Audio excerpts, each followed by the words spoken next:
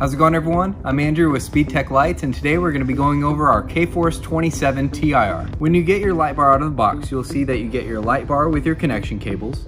Then you'll notice on your cable harness here that you have your cig plug for power, which you can easily plug into your cigarette lighter port or you can cut off and hardwire for power as well. And then you'll see that you have your grand control connector here, and this is to be used with our optional grand control that you'll see in the drop down menu. And again, you can cut and hardwire this if you'd like to, just make sure to check out the instruction manual for the wiring diagram. And then also you'll see your aux cable here to hook up to 10 amps of additional lighting off of your grand control. Now let's go over how to hook up your unit and go over the functions of your grand control. So today I'm gonna be using my cig plug for power. So I'm gonna plug that into my cigarette lighter port and I'll be using my grand control to control this unit. So I'll simply plug in the connector to the grand control. And then I have my power button here to activate my light bar. And then I have my pattern button here so I can go through the different flash patterns. I can find a flash pattern I'd like. And then you'll notice that you have memory recall on this unit. So when you turn your unit off and back on, it will remember the last pattern it was on. And then you also have a couple flash pattern shortcuts here. So if you hold your pattern button down for three seconds, your light bar will go to steady burn. And if you hold your pattern button down for five seconds, your light bar will activate its random flash pattern mode. So you can easily access those two modes off of your flash pattern button. And then you'll see here that you have your TD button, and this will control your two alley lights.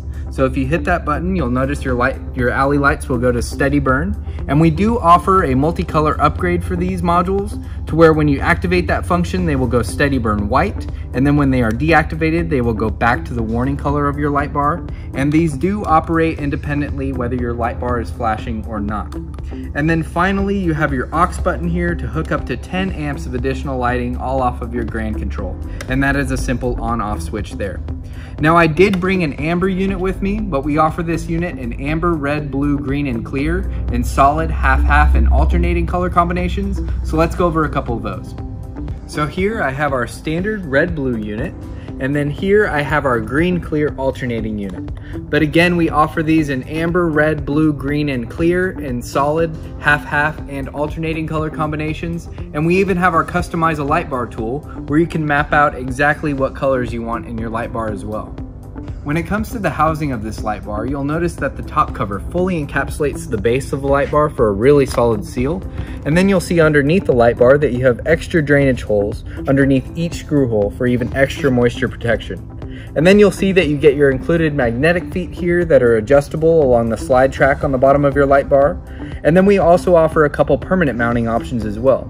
So you'll see with our permanent mount stud bracket that these will use the existing hardware from the light bar feet and mount like so, and you'll use two of these for this unit.